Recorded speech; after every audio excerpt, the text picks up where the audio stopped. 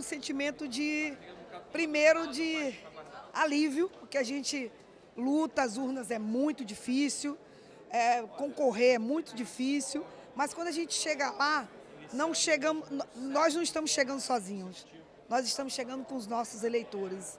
E eu fico muito feliz e agradeço muito aos meus eleitores por confiar mais um mandato com mais votos e mais responsabilidade. Meu compromisso será muito maior.